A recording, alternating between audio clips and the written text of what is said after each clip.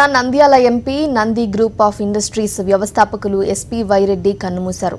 గత కొంతకాలంగా అనారోగ్యంతో బాధపడుతున్న ఆయన హైదరాబాద్ బంజారా హిల్స్లోని కేర్ హాస్పిటల్లో చికిత్స పొందుతూ తుది శ్వాస విడిచారు. ఎస్పీ వైరెడ్డి మృతి పట్ల AP CM Chandrababu YSR Congress party అధినేత వైఎస్ జగన్మోహన్ రెడ్డి సంతాపం వ్యక్తం చేశారు.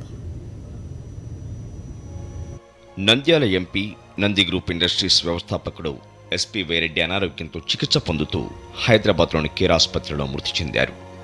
ఎస్పీ వైరెడ్డి కడప జిల్లా పులివెందుల నియోజకవర్గం అంకాలమ్మ కూడూరులో పంతొమ్మిది వందల యాభైలో జన్మించారు. రెండు వేల నాలుగు రెండు వేల తొమ్మిది ఎన్నికల్లో నంద్యాల లోక్సభ స్థానం నుంచి కాంగ్రెస్ అభ్యర్థిగా గెలుపొందారు. రెండు వేల పద్నాలుగులో వైఎస్ఆర్సీపీ తరపున పోటీ చేసి హ్యాట్రిక్ విజయాన్ని సాధించారు.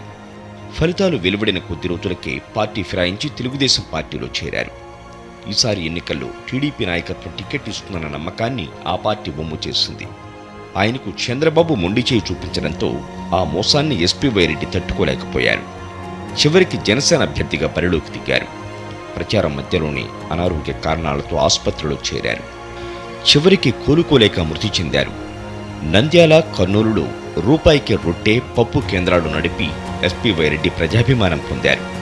గ్రామాల్లో వాటర్ ప్లాంట్లు ఏర్పాటు చేయడం పార్లమెంటు పరిధిలో ఏ కార్యక్రమాలు జరిగినా వారికి ఉచిత భోజన వసతి కల్పించడం బోరుబావులు వేయించడం ద్వారా ప్రజలకు చేరువయ్యారు.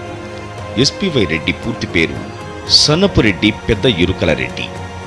ఆయన స్థాపించిన నంద్యాల పైపుల పరిశ్రమ వల్ల పైపుల రెడ్డిగా ప్రాచుర్యం పొందారు. బీటెక్ చదివిన ఆయన మొదట ముంబైలోని బాబా అటామిక్ రీసెర్చ్ కేంద్రంలో ఉద్యోగం చేశారు. అనంతరం పంతొమ్మిది వందల డెబ్బై ఏడులో నంద్యాలలో పైపుల ఫ్యాక్టరీ స్థాపించారు. పంతొమ్మిది వందల తొంభై ఒకటిలో రాజకీయ రంగ ప్రవేశం చేసిన ఆయన బీజేపీ తరపున ఎంపీగా పోటీ చేసి ఓటమి చవి చూశారు. రెండు వేల ఒకటిలో మున్సిపల్ చైర్మన్గా సేవలందించారు. ఆయన మంచి బాస్కెట్బాల్ ఆటగాడు. జొన్న రొట్టె సంగటి పోలూరు వంకాయతో చేసిన కూర అంటే ఆయనకు చాలా ఇష్టం.